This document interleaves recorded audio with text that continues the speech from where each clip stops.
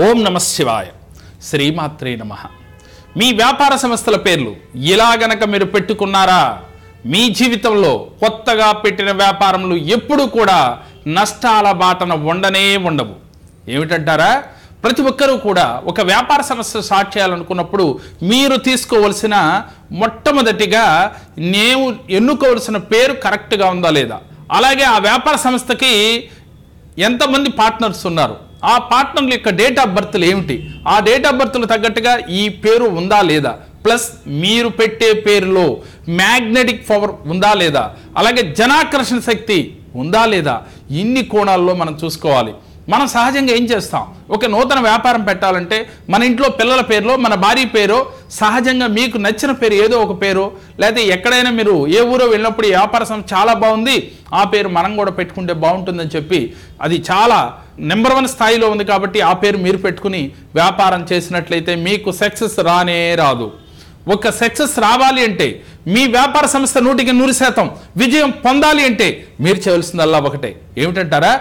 ముందు మీ date of birth ఏమిటి? దీంట్లో పార్ట్నర్స్ ఎవరో చూడండి వాళ్ళందరి డేట్ ఆఫ్ బర్త్లు తీసుకోండి దానికి తగ్గట్లుగా మ్యాగ్నెటిక్ పవర్ నేమ్ నిర్ణయించుకోండి.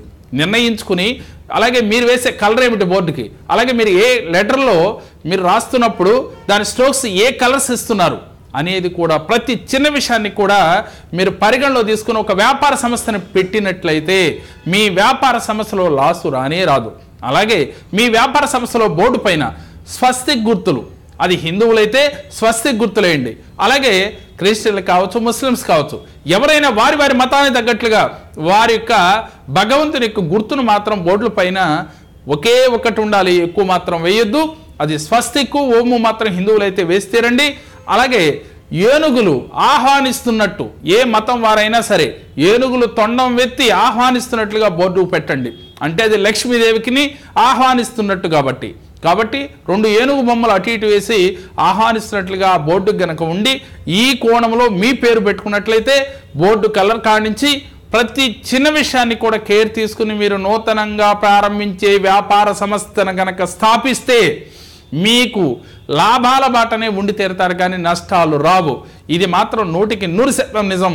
కావాలంటే ఎన్నో సంస్థల్ని మేము పెట్టి ఉన్నాము. చాలా అద్భుత ఫలితాలను కూడా సాధించారు. అలా మీరు కూడా ఇన్ని కోణాల్లో గనక జాగ్రత్త తీసుకుని మీ వ్యాపార సంస్థ స్టార్ట్ చేసినట్లయితే హండ్రెడ్ పర్సెంట్ నూటికి నూరు శాతం విజయ బాటలో ఉంటారు. అది వ్యాపార సంస్థ పేరైనా చివరికి ఒక బడి పేరైనా గుడి పేరైనా ఇంటి పేరైనా ఏ దా ఒక వస్తువు పేరైనా సరే ఈ విధంగా పెట్టి ఆ ప్రొడక్ట్ని బయటికి రిలీజ్ చేశారా హండ్రెడ్ పర్సెంట్ సక్సెస్ బాటలో ఉండి తీరుతాము. మేము చెప్పినట్టుగా మీరు ఆచరిస్తే సత్ఫలితాన్ని పొంది తీరుతారు.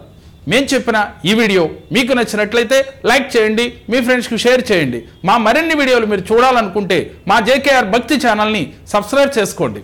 ఓం నమ శివాయ్.